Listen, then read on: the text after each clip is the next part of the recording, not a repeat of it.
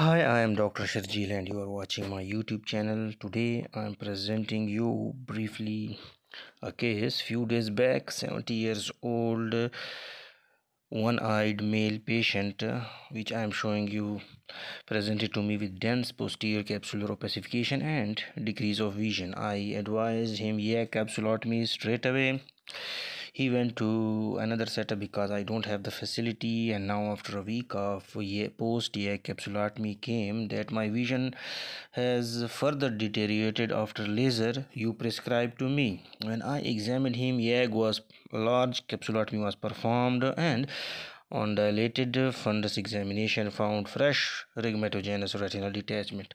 I felt very guilty for his condition because I had referred to him urgent Urgently, I referred this patient to a VR facility to save his only eye. Now, the take home message uh, from this case is that we should be very careful um, while sending the patients for uh, YAG capsulotomy and while performing YAG capsulotomy, especially in one eyed patients.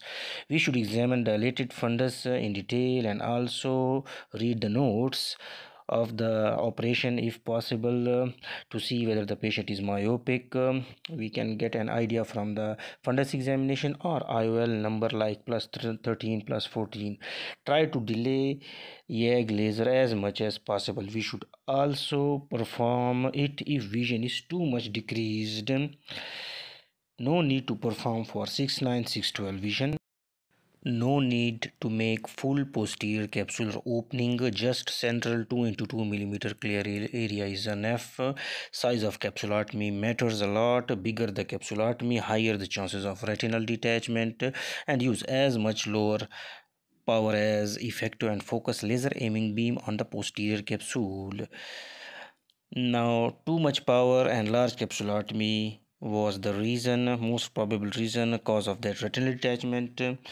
I hope we learn a lesson from this case and this patient gets back his vision.